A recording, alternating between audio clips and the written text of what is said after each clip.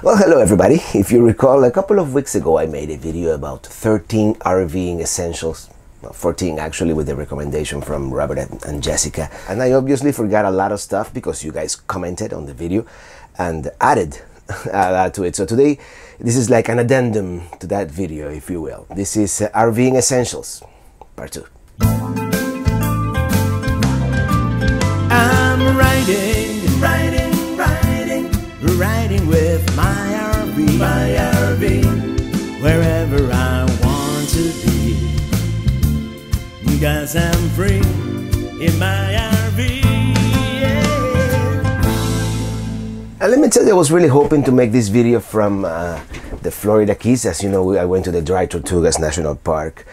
Beautiful place. I'll put a link to that video too if you haven't seen it by any chance. But let me show you, let me, let me um, enumerate here uh, the, the other RVing essentials that I forgot to mention. And one of them is a clear sewer elbow. And that should have gone with the extension uh, sewer hose, you know, all the sewer hose together. Might as well do it. But you need an elbow, and uh, as a matter of fact, you need something clear to see what's coming out of your black water tank. In my case, I have a straight because my, my sewer outlet is very, very low to the ground. So if I make even an elbow, making it even lower, you almost have no incline to, to for gravity to do its thing.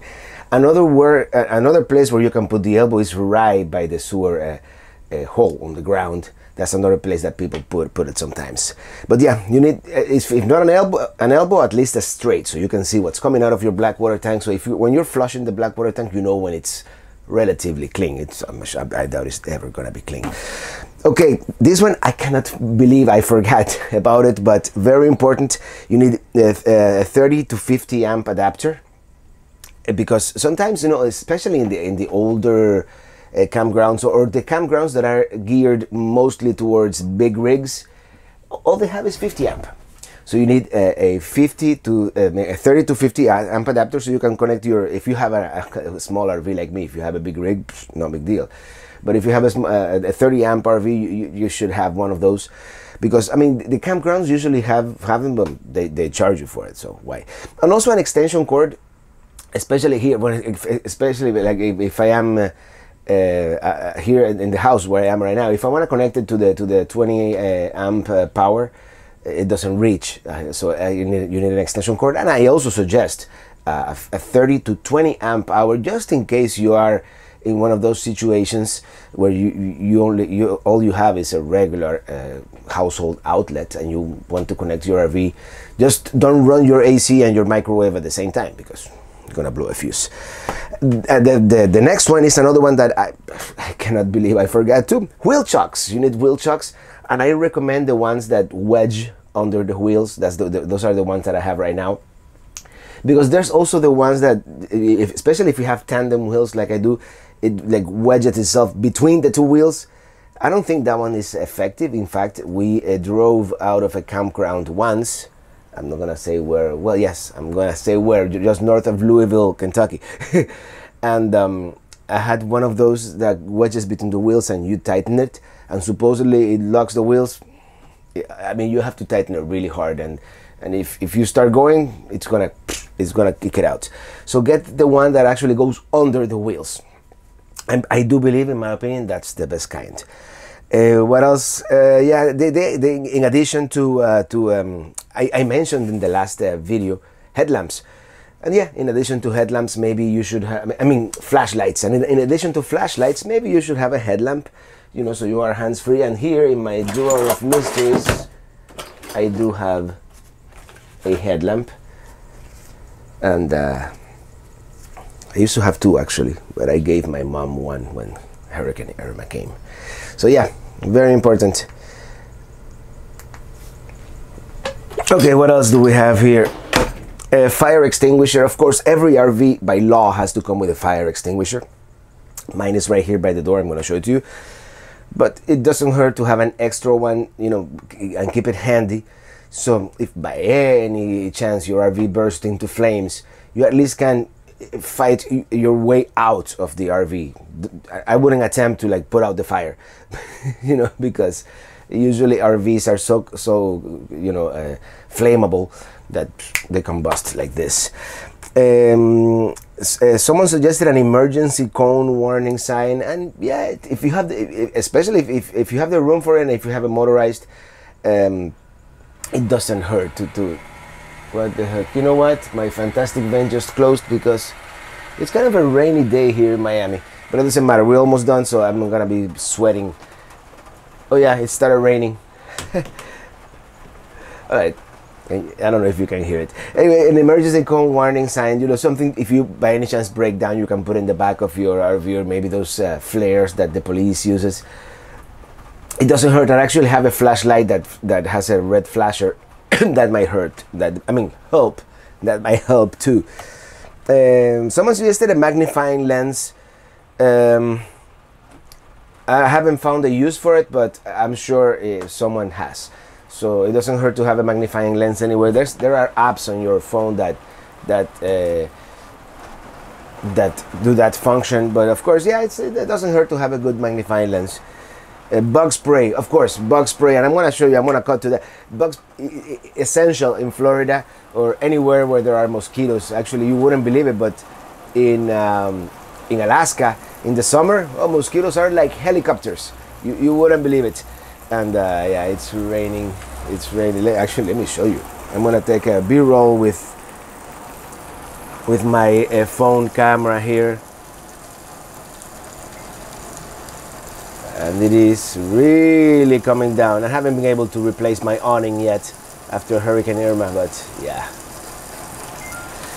Okay, uh, bug spray, and not only bug spray, you have to have citronella ca- candles, uh, uh, a, vaporizer. I would have a vaporizer too. I used to have a spray uh, that stunk like uh, like uh, like garlic, but was super effective. Uh, you know, the mosquitoes wouldn't come near the RV. You you set like a perimeter around your RV, and there are those lamps. I mean, belts and suspenders on this one. You, it- yeah, especially if you if you ever plan to camp uh, in the summer in Florida, England.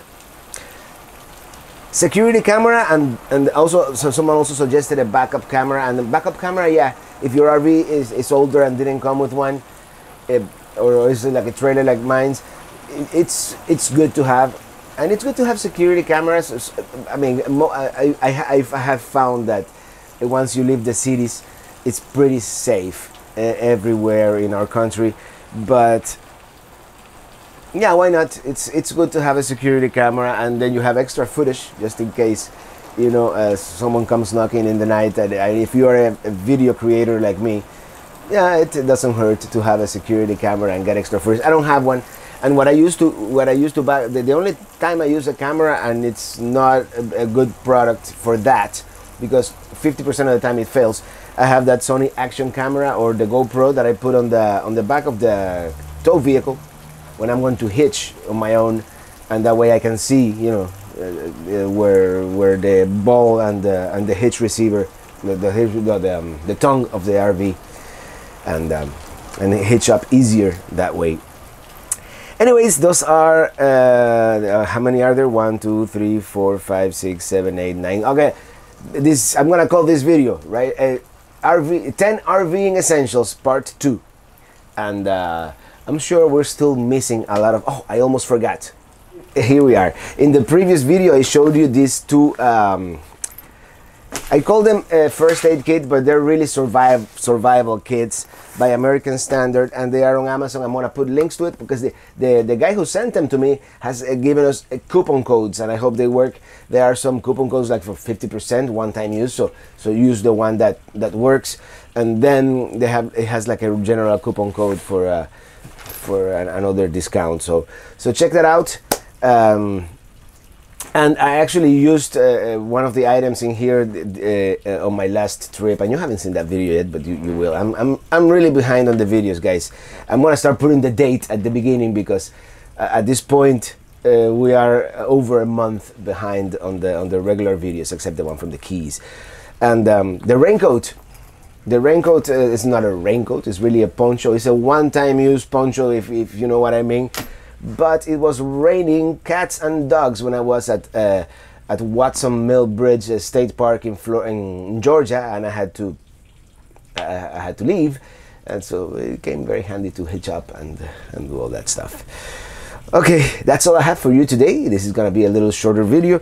Uh, uh the, the, another video about 10 uh, RVing essentials. And if you have any other essentials you'd like to point out uh, that I didn't cover in the previous video or this video, comment below. And as always, I, I, appreciate you watching my videos. So I'm starting to sweat here. It's Florida, and even though it's uh, November 13th as I'm recording this, it's probably already uh, 90 degrees out there. See you on the road, guys. Thank you so much uh, for watching. Thank you so much for supporting the show. Bye now. If you have enjoyed traveling with us, make sure you are subscribed and check out my other videos. Also, share it with your friends, spread the word, and leave me a comment. Now, if you really, really liked it, you have a chance to show your support at patreon.com slash travelingrobert. As always, thank you so much for watching and see you on the road.